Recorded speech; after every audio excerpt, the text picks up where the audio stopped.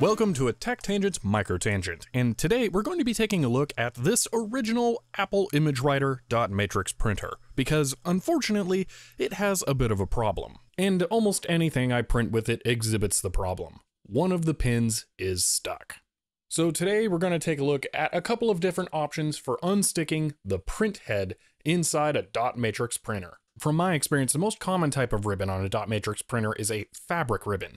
Now, the downside of a fabric ribbon is that the ink is permeated through it and it's on both sides. So, as the ribbon is depressed, some ink invariably ends up sticking to the pins and pulled back to the print head. And that's almost guaranteed to be what has happened here. So, really, we need to remove the head from the print carriage and try to clean it off. Now, if you can find a character that will really exercise that pin, you might be able to get it to break free, and that is what happened here. But I have already pulled this head off and taken a look at it, and it's really filthy. So even if you can do this, you may want to consider trying to clean it anyway. It's really not that hard, as you'll see. Dot matrix printers were popular when maintenance and serviceability was a key feature people were looking for, and all of the dot matrix printers I have that I've checked have easily removable print heads. The Apple ImageWriter here is very easy. All you have to do is loosen two screws to loosen the ribbon guides, and then pull the head out while making sure the paper bail isn't in the way.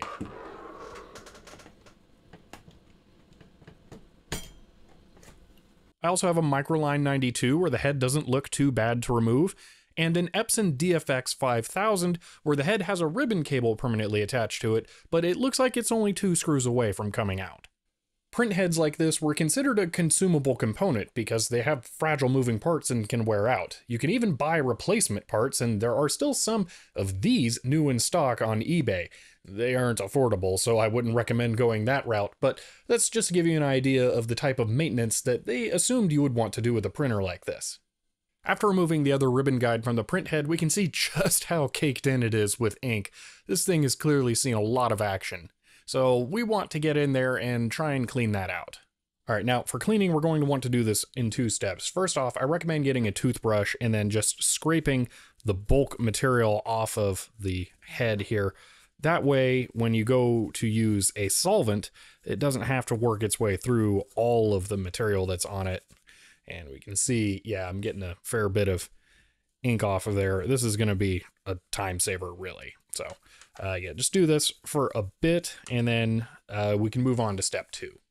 Now for step two, I'm going to go ahead and use a 91% isopropyl alcohol. And the objective here is to dissolve the ink in the print head into the isopropanol. So you're going to want to get a little bit of it into a container that you can dip the print head into and try to get that to soak in around the pins and then get it out. And you might want to repeat this process a couple times because after I did my first round, you can even see the ink seeping out around the pins and getting back on the top of them. I'm going to repeat this process of dipping it and drying it out a few times just to make sure I get everything. All right, I ended up soaking the print head in the isopropanol for a little bit too, and it definitely got a lot of ink out. So that is looking much, much better now, and I'll get one more tied up shot here, and you can see there is just so much less ink stuck onto the front of that. Actually, I decided to let it soak for about an hour more because as I set up to get that shot of how clean it was,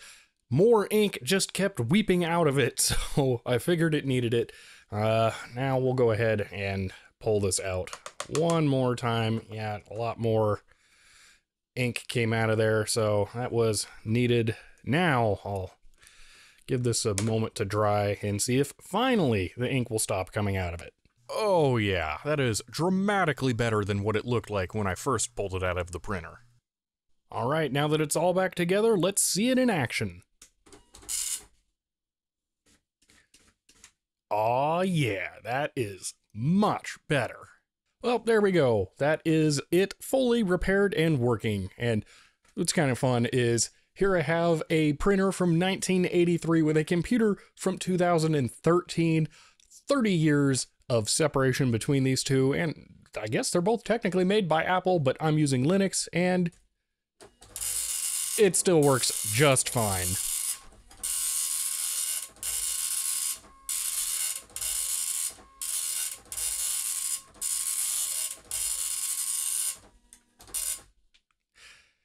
I really like dot matrix printers. That sound just, mmm, yes.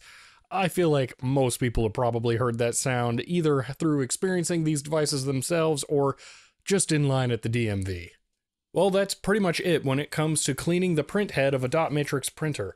They're really simple and maintainable devices if you just go for it. I think you're probably not likely to damage one of these, so just give it a shot.